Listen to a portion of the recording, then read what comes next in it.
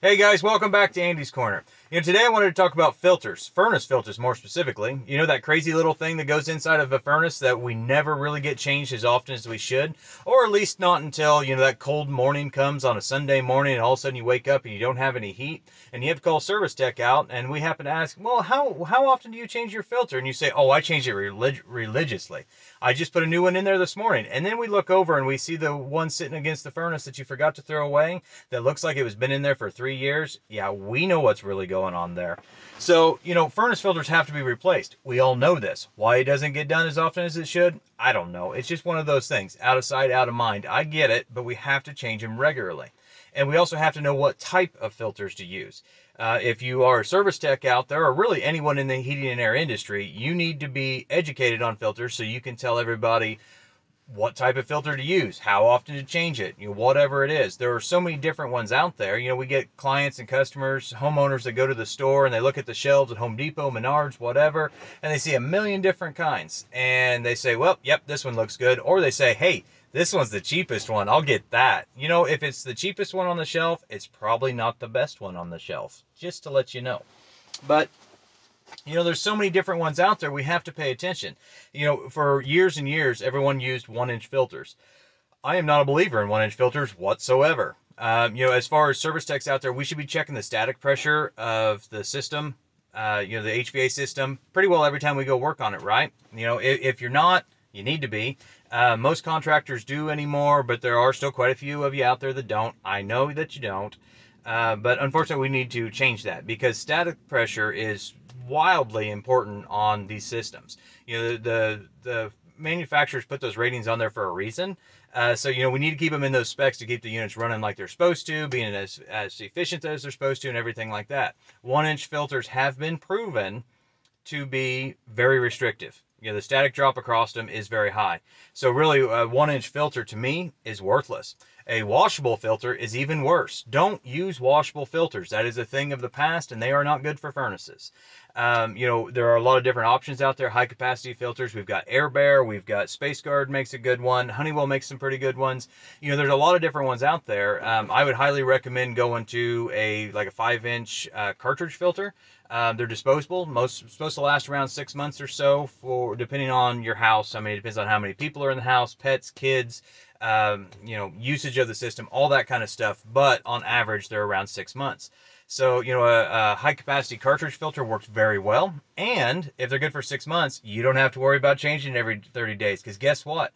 That one inch filter that you've been putting in there or you've been selling to people and putting in, they're supposed to be changed every 30 days. You know, I, I talk to people and they say, well, I bought this, this good filters made by DuPont and it says that it's good for 90 days guaranteed and it can catch, you know, all these different things and all this, these, you know, it's the 7000 series and all that crap. You know what? That 7000 series or whatever they're, they're uh, judging that, that's their own personal scale that is not you know the MERV rating because the MERV rating is the is the scale that heating and air contractors actually go by. That's what our industry is designed off of is the MERV rating. So you know the 7000 series or 1400 or you know whatever it is, that's their made up made up scale. Uh, but all furnace filter one inch furnace filters are restrictive, and if it says it can make it three months, either it is not filtering dirt and dust like it's supposed to, or it plugs everything up and it's going to hurt your furnace or it's going to hurt your air conditioner or your system or whatever it is. You know, don't believe any of those ones that say, um, you know, three month filters. Don't believe that. Uh, the dreaded one inch fiberglass filter. You know, you see the blue ones or they make white ones out there sometimes. Um, it, those filters are absolutely worthless. Um, I tell everybody, you know, if you can take that filter and lay it down on top of a newspaper and still read the newspaper, think about how much dust and dirt that thing's actually stopping. You know, it's not stopping anything. All that stuff's getting in there. The whole point of all of this is the fact that furnace filters are designed to protect the system. They're there to keep the dirt, dust, dander, all this stuff out of the system. Um, you know, I talk to people and they say, well, I, I went and bought, I paid $20 for this one inch filter. It is charcoal it is uh, HEPA and all this stuff that they advertise. You know what? That's a joke. That is a gimmick that they are getting you on. Just because it says all that stuff does not mean it's good for your system. I have seen systems out there that they put one of those in and the unit shuts down. Uh, chances are they've probably got some uh, static pressure issues already. Ductwork's a little too small, dirty coil, something like that, dirty blower Either way, those filters are bad for systems. You just wasted $20. I'm sorry to be the one to have to inform you of this, but yeah, that's 20 bucks thrown out the window. Throw it away. If you uh, are a homeowner out there and you don't know what filter to use, go ask your contractor. Go ask the uh, reliable, you know, contractor. Don't go look for Chuck in the truck. Again, I know I always reference Chuck in the truck. I really have nothing against anybody named Chuck, and I have nothing against anybody that has a truck. I have a truck, but Chuck in the truck is usually going to try to sell you that, you know, 75 cent fiberglass filter, and it is not doing you any good whatsoever. Go to somebody that knows what they're talking about and get a good filter, like the high capacity cartridge filters or something like that. Um, you know, filters advertise that they can go down to like the smallest micron and it can catch this and all these allergens and it can catch all these viruses and bacteria and all that kind of stuff most of that is a joke. I mean, we do need a good filter that can get all the uh, you know smallest little microns of dust and things like that because we have to keep it out of the system. But if you do suffer from allergies, if you do suffer from any kind of respiratory problems, things like that, there are much much better things out there for you. Um, we have because there's a difference between air filtration and air purification. The filtration is stopping all that big stuff and whatever. You know, purification is killing all those little bitty things that actually makes us react and do different stuff.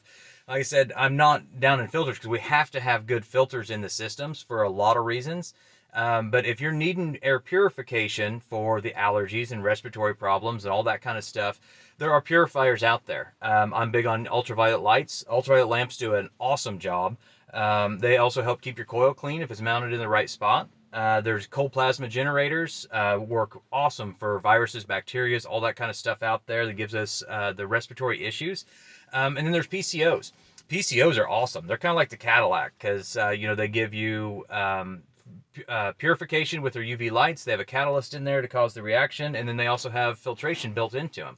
Um, you throw a cold plasma generator in with a PCO, and man, you you you were driving the Cadillac. That that is where it's at. Um, now, before you get crazy and go Googling, you know, what is he talking about a PCO? PCO stands for photocatalytic oxidation. Um, so it's uh, just go with it's the Cadillac of you know filters and stuff like that. So it's the good stuff. You know, all these filters they do cost a little more money. You know, the high capacity cartridge filters, um, some of the different uh, SpaceGard filters, um, like I said, Honeywell, the PCO filters, stuff like that. Um, they they do cost a little more money, but you know the furnaces themselves cost a lot of money. Furnaces and air conditioners are not cheap by any means. I talk about that on here all the time. There is nothing in our industry that is cheap anymore, unless you get a fiberglass filter from Chuck in the truck. Then that's probably cheap, but you know you get what you pay for there. But I mean that that really is the moral of the story with filters is you do get what you pay for with these cartridge filters. You know, like the air bears. I think the air bears are relatively um, or I think they're reasonably priced.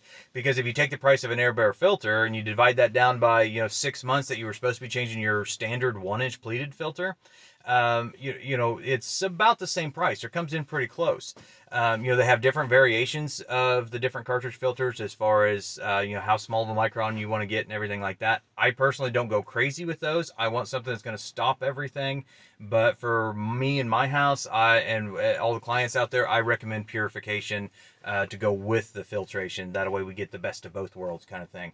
Um, but those high capacity filters, you know, they have so much more surface area to them. If you actually cut one apart and stretch it all out, um, it can be up to like three times more than what a standard one inch filter of the same, you know, outside diameter. Um, just because there's so much more surface area there, we can get the air through it, so it's healthy for the system. And they, we can also stop all the dirt and dust and dander and all that big crap that's floating through the air that we don't want in the system and we don't want reintroduced to the house, right? So, you know, I have a lot of reasons why I, I like the better filters, not to mention um, your efficiency because a lot of times we can get better airflow. You know, if you've got some uh, washable filter like the electrostatics, um, you know, supposedly it's something about like how the mesh, uh, the two meshes are put together, creates some of they've got some out there that create static electricity and helps catch all this dust and stuff like that.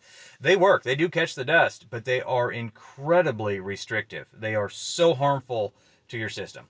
So, you know, if you got a washable filter, throw it out and throw it away. I, am sorry to have to be the one to tell you this. Throw it away and just, you know, talk to your contractor and find out something better. Um, but, you know, with these better filters, you get the efficiency. Because uh, you've got the airflow going through there and you, more airflow going through there. So we're redistributing all the BTUs that that system can make. We're putting it out there in the house like it's supposed to be, right? So you know we're we, we gain efficiency. A lot of times we can gain comfort if we're moving more air. You know some of those hot spots, cold spots, stuff like that.